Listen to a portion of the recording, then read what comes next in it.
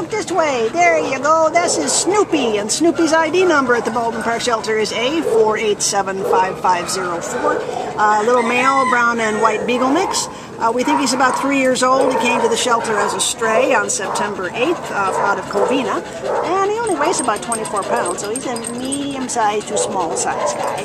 Uh, he's really pretty coloring, doesn't he have pretty coloring? He's very, I guess he's something else in there besides a beagle, maybe a spaniel or something. Uh, what can you tell us, Lydia? Uh, he walks pretty good on leash. He's friendly. He likes other dogs, or he's curious about other dogs. He's uh, found a little a, a girl that he wanted to go up to. Got his attention, yes, but she wasn't too interested. Okay. And he shows signs of being housebroken. He's super friendly.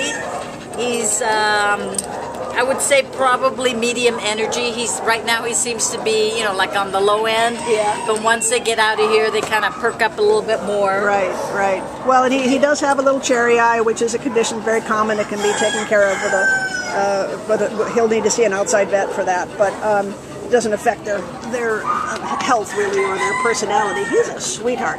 Um, and he said he said he does show signs of being housebroken. So Yeah. he was somebody's pet. So who knows how he ended up here? He came in as a stray.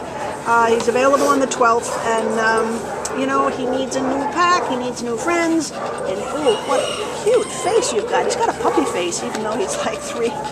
You know, you're cutie. Come and meet Snoopy and take him home with you. He needs new friends. Bye, baby.